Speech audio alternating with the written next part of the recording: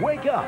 Dennis and Lassie are on early enough for you to catch both of them. Gee, nobody told us. Well, now you know, so spread the word. Dennis, you haven't even started your breakfast. Where are you off to? First, it's Lassie at 7.30 a.m. Then at 8, join Dennis and his friends. Thank you for the correct time. Now, doesn't Nickelodeon give you a good feeling to wake up with? You bet.